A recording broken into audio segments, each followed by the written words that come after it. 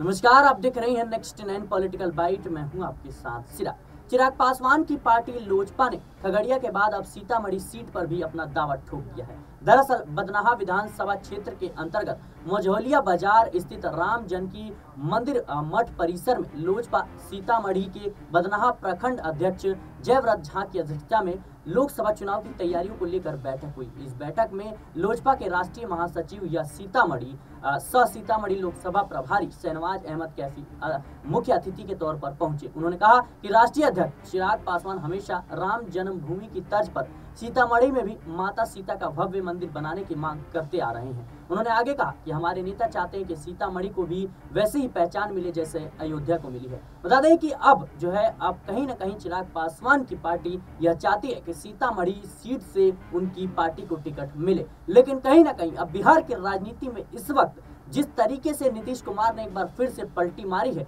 और कहीं ना कहीं नीतीश की वापसी से सबसे ज़्यादा अगर कोई नेता नाराज़ है तो वो है चिराग पासवान। और अटकलों का बाज़ार गर्म हो रहा है। क्या सीतामढ़ी सीट से अगर उनको टिकट नहीं मिलता है तो कहीं ना कहीं अब चिराग पासवान पलटी मारते हुए नज़र आएँगे। बता दें कि इस वक्त एनडीए में छह पार्टियाँ हैं, और बीजेपी के लिए एक बड़ी चुनौती है कि बिहार की 40 सीटों पर 40 सीटों में से कैसे बंटवारा किया जाए? कहीं ना कहीं अगर किसी भी तरीके से कुछ भी गड़बड़ी होती है तो जो पार्टियाँ हैं वो बगावत पर उतर आएँगी। और जिस तरीके से बिहार की राजनीति में पलटी मारने का जो ट्रेंड चल रहा है, इससे कभी भी सत्ता पलट सकती है। तो क्या अब लोकसभा चुनाव से पहले चिराग पासवान जो है सीट शेयरिंग का मुद्दा अगर नहीं सुलझाया जाता है तो पलटी मारते हुए नज़र आएँगे। क्या चिराग पासवान जो है अब इंडिया गठबंधन से हाथ मिलाने वाले हैं? क्योंकि राजनीतिक गलियारों में कई ऐसे खबरें सामने आ रही है, जिनको लेकर अब यही अंदाज़ा या कह सकते हैं अंदेशा लगाया जा रहा है। फ़िलहाल चिराग पासवान को लेकर आप क्या सोचते हैं? हमें कमेंट बॉक्स में ज़रूर बताएँ। देश और दुनिया की तमाम खबरों के लिए बने रहने पॉलिटिकल बाइट के साथ।